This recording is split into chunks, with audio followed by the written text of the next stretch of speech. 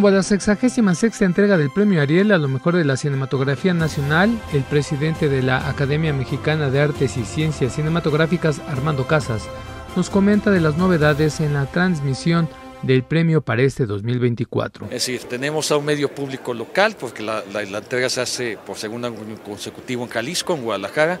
Entonces Jalisco TV es quien está haciendo la producción local, que lo hace muy bien, es una televisora con mucha experiencia. Eh, se va a transmitir a través de, en vivo, a través de un medio público de alcance nacional como Canal 22.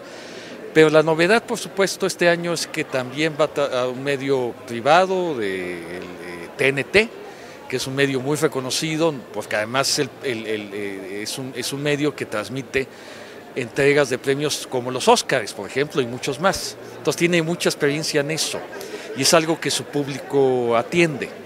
Entonces ahí creo que vamos a tener un nuevo alcance, algo interesante, eh, gracias a la colaboración que hicimos con Warner.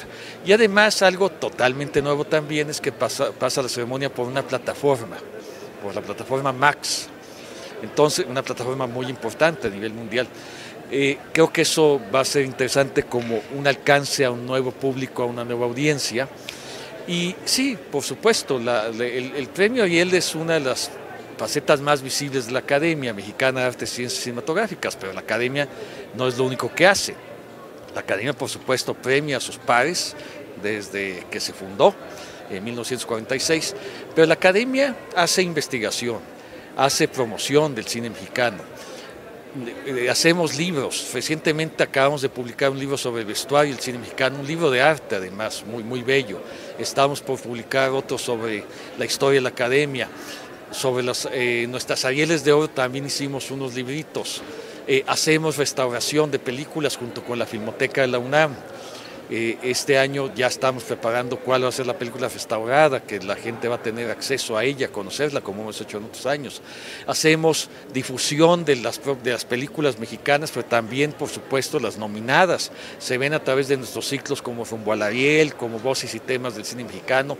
Se ven en todo el país presencialmente, se ven también a través de plataformas. Hacemos accesos gratuitos en temporadas a plataformas. Se ven a través de la televisión. Por ejemplo, todos nuestros cortometrajes nominados, todos pasan en Canal 22, eh, divididos en corto de ficción, documental y animación. Que eso además es muy importante porque el cortometraje no tiene una ventana tan amplia como los demás formatos. Eh, hacemos colaboraciones también con programas, hacemos televisión, radio. Este año Canal 11 hicimos con ellos cinco documentales que ya van a empezar a transmitirse desde este viernes acerca de las vestuaristas, que es el eje central de esta, de esta ceremonia del año que estamos este, celebrando ahora, eh, pero también de los Arieles de Oro, ¿no? Busi Cortés, por supuesto, Brigitte y Angélica María, y un conversatorio sobre las películas que están nominadas a Mejor Película. Eh, con Canal 22 también tenemos una colaboración estupenda, como ya he dicho, y en general es, es eh, una labor que, es intensa, que tiene muchas, eh, muchos caminos y nuestra función principal, el sentido la existencia de la academia, según sus estatutos, es difundir todo lo que se refiere al cine mexicano.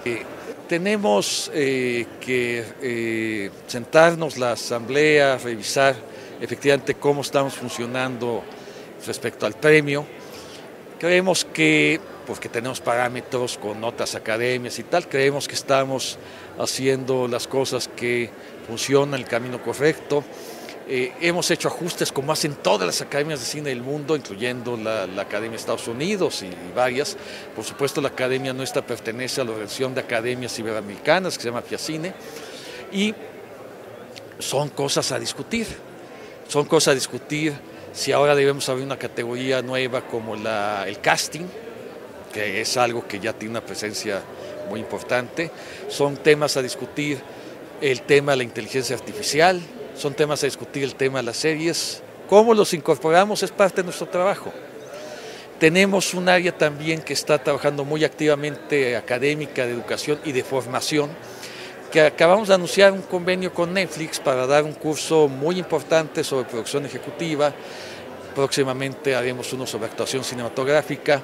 Entonces, es, evidentemente además la academia, por supuesto, tiene que estar al día respecto al nuevo ecosistema audiovisual en el que estamos viviendo. Y son temas que, bueno, como la academia es una asociación civil y funciona a través de la asamblea, pues son temas que se ponen sobre la mesa y se discuten ampliamente. Somos una comunidad plural, somos cineastas en activo y tenemos todos ideas que pueden nutrir desde nuestras diversas eh, lugares o, formas de, finalmente de conocimiento, aportar qué debemos, cómo debemos caminar hacia el futuro. Recuerde la entrega 66 del Premio Ariel este 7 de septiembre.